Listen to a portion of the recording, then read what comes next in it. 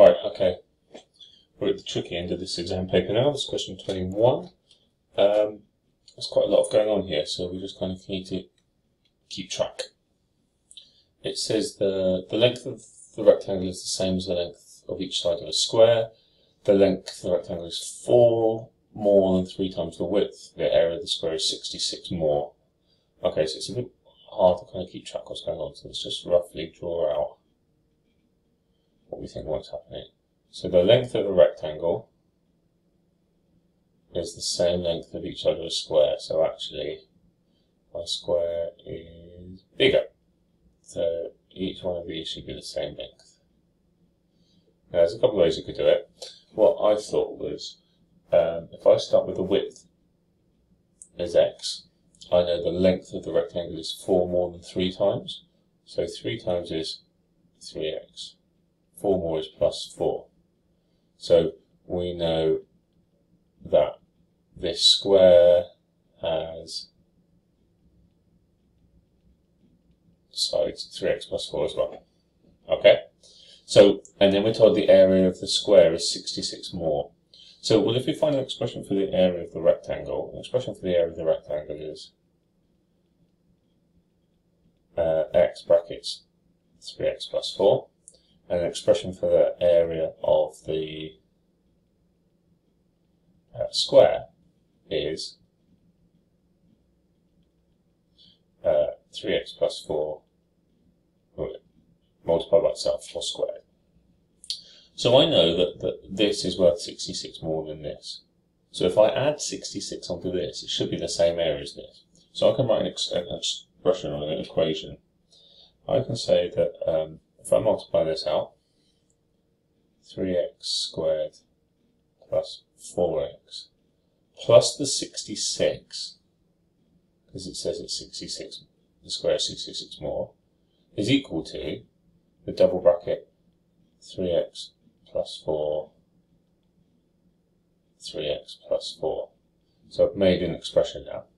So I'm going to multiply the right hand side. So I get 3x squared plus 4x plus 66 over here. On this side, I'm going to get 9x squared.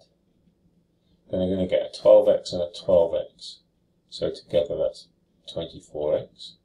And then a 4 and a 4 is 16. And then I'm going to collect everything together. And because this has got the most number of x squared, this is 9x squared, this is only 3x squared, I'm going to collect everything on the right hand side.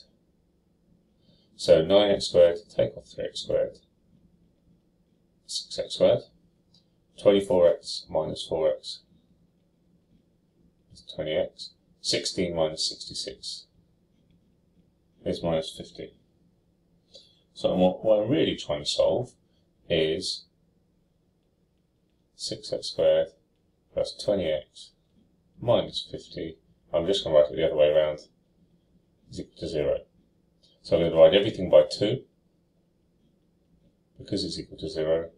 So I get 3x squared plus 10x minus 25 is 0. And then I'm going to set up a set of double brackets. Um, I know it's got to start 3x and x. It's the only way to get 3x squared. I'm going to make 25, so it's probably 5 and 5. 1 plus 1 minus. I'm going 10x. So if I add a 5 in here, this and this will give me 15x. A minus 5 in here. When I take the 5x off, it's going to give me 10x. So therefore, my solutions are uh, 3x minus 5 equals 0, or x plus 5 equals 0. So my answers are, take 5 to the other side, 5 divided by 3, or x is equal to minus 5. Now clearly I can't have this, because this is a negative answer, we're talking about length here. So this is the answer that I want to take there. So if I just go up here, it now says find the length and the width. Well, that's okay, the width is easy. The width is just 5 over 3 or 1 and 2 thirds centimetres. And the length is the answer x. Well, we're going to close by 3 and add 4. So it's 3 lots of my 5 over 3 plus 4, which is 3 divided by 3. So it's 5 plus 4, which is 9 centimetres. So the width is worth 1 and 2 thirds, and the length is worth 9. And that's it, I'm done.